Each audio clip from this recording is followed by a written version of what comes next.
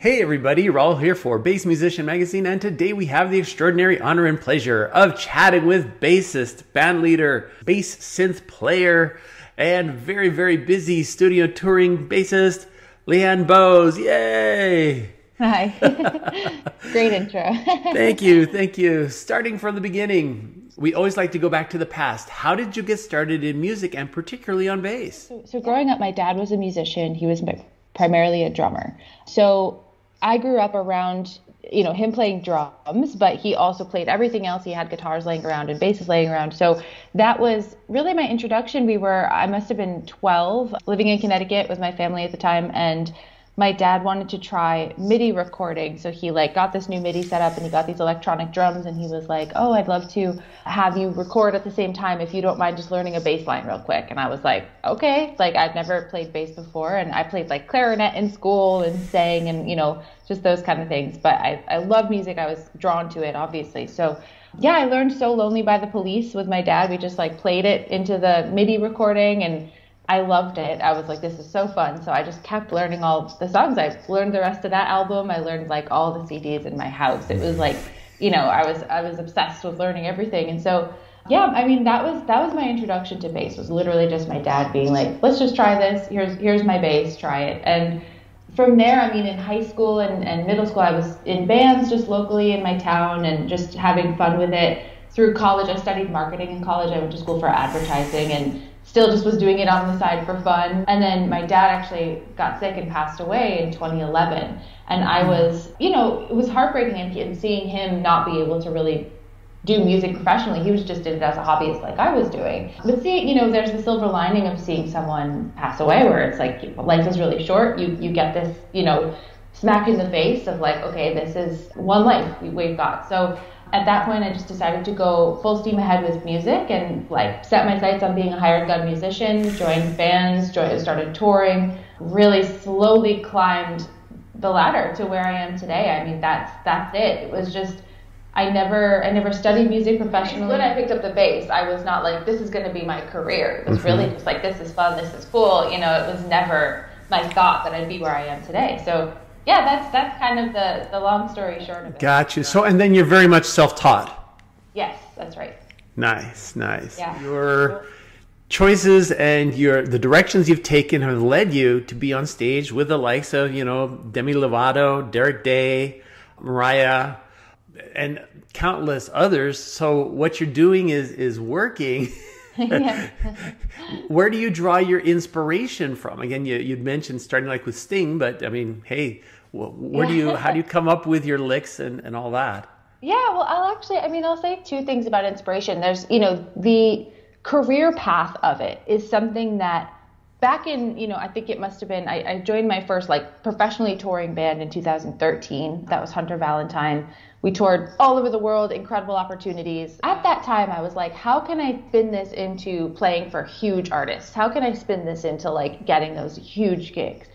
And in order to learn how to do that, I took to Instagram and I looked at people like Nita Strauss. I mm-hmm. looked at people that were doing this. And, you know, this is something, Nita's a great example. There were a few women I was kind of like, you know, watching at that time of like, how are they parlaying this? Like Eva Gardner's another good example with Pink, like just someone that's like, just doing this as their career. I didn't I didn't know how. There's obviously no guidebook. Anyone watching this knows there's no guidebook, which is very frustrating sometimes because you don't have like, you know, instructions. Yeah. But Nita's a great example and, and goes first full circle because I was able to tour with her this year. But at that time, I'm in in my bedroom in Brooklyn in 2013 looking through her Instagram and just like she was inspiring in the sense of like I can just look at this and see what is she posting? What is she doing? What is what is her brand? You know, Nita's also a great example of a brand. I mean, she's got a really great marketing sense. So mm. I want to say people like Nita and Eva Gardner were my inspirations back back then from a career perspective, back mm-hmm. when I mm-hmm. decided to start touring. But I will say from like a music perspective, my, my favorite inspiration I like to, to talk about is one of my band Hunter Valentine's first big tours, like I'm saying back in 2013, was opening for Sum 41. And that was my first like I was like, I hadn't seen a show like that really. I mean, I saw when I was younger, I saw like Good Charlotte and shows like that, but I was like up close and personal with this band, watching them every night. And Cone, their bass player, was just like his stage presence, his tone, everything about him. I was just soaking it in. I was just like learning from that. And I always like to say, I mean, he's my number one inspiration. My moves on stage, I like like to think about what Cone would do. I mean, he's just he was just that first introduction for me of like this is how you this is how you run the room. This is how you like you know just like that confidence is so yes. inspiring to me. So yeah, Cone musically is one of my biggest inspirations, and then people like Nita, I would say, in my earlier career, and it's uh, again, it's full circle and wild that now Nita and I just toured as peers on a tour. I mean, I, I did get where I'm trying to go. So yeah, it's pretty amazing. But yeah, watching others do it back in the beginning was how I figured it out. Very nice, very nice. And as you mentioned, yeah, sound.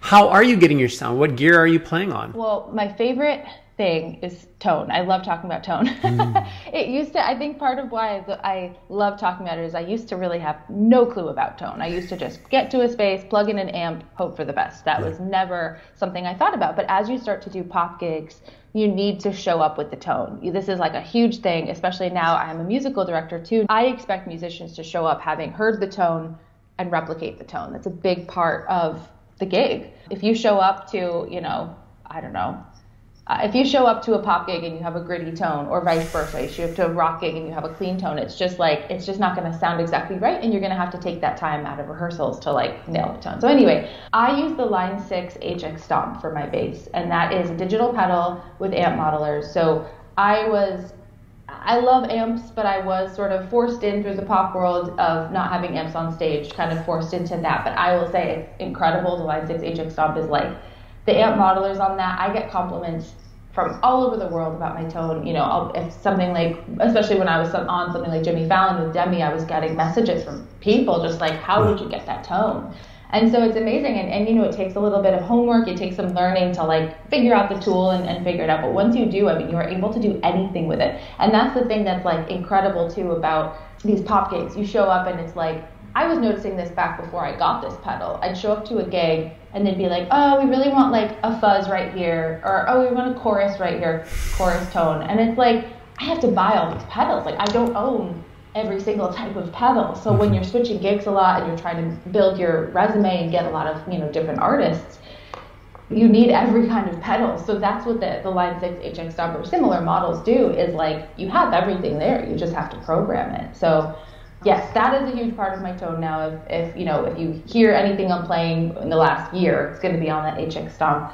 A Fender P bass is, is my favorite tone. That's the bass I like to use most. And then Ernie Ball, Super Slinky Strings. Those are the three things I would say that really make my tone. nice, nice. Yeah. It is so impressive. Again, with the kind of music, you do have to make your tone fit that perfectly because we have so many varieties in music that, as you've mentioned, if you showed up with, let's say, dead strings, like you'd coming from playing reggae, and yeah. now you're trying to get into the, the brighter range of things. I mean, it's, it's just not going to work, and it's yes.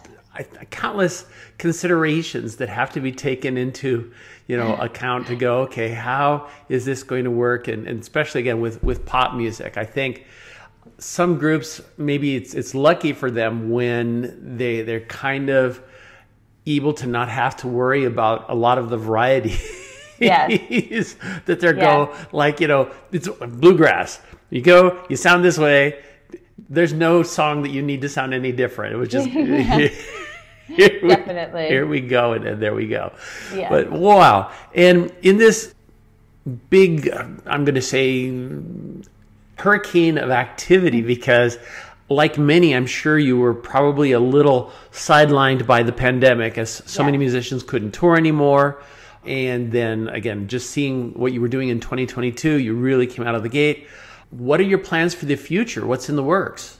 Right now, we've got more gigs booked with Demi, so we've got a couple more through the year. So Demi Lovato is my primary gig at this point, and I am the musical director and bass player on that project. Mm-hmm. So you know, doing a lot behind the scenes, setting up the show, and things like that. So that's that's exciting. We've got a couple more there. I Uh, I musical direct also for Royal and the Serpent now. Royal and the Serpent is currently on tour with Fall Out Boy. She's opening. So that's been taking up some time too, is just getting her show set up. I'm not playing with her, I'm just setting up the show and sending them off.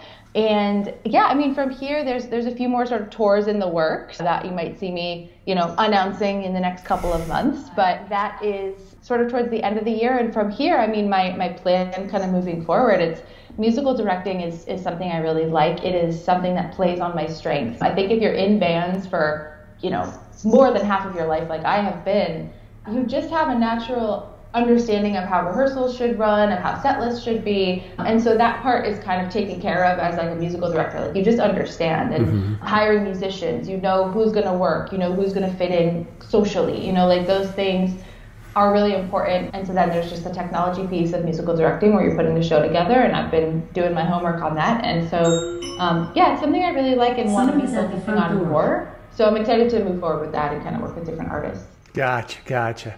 Yeah. Well, it's very exciting. If people want to know where to look to see what you're doing, where should they go?